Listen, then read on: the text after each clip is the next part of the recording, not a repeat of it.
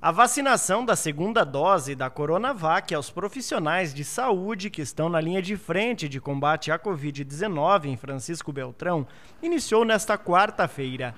As doses estão sendo aplicadas apenas na unidade de saúde do bairro Luther King, que está com horário de atendimento diferenciado pela manhã das 8 às 11 horas e à tarde das 13 às 20 horas. Importante que eles levem a carteirinha de vacinação, que tem o registro da primeira dose, é, e um documento de identificação. Aí, a partir do final da semana, a gente vai avaliar né, como que está sendo essa busca e aí vai avaliar a necessidade de outras estratégias, né, se for preciso vacinar em loco, nos hospitais, nas unidades de saúde. Também nesta semana, a Secretaria Municipal de Saúde iniciou a vacinação aos idosos com 80 anos de idade.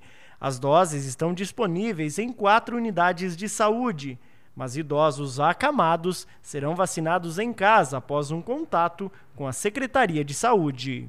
Primeiro, a gente fez vacinação no domicílio daqueles que são acamados ou domiciliados e agora a gente tem essas vacinas em quatro unidades de saúde. Né? Então a gente tem na Alvorada, no Vila Nova, é, no Pinheirinho e na Campo.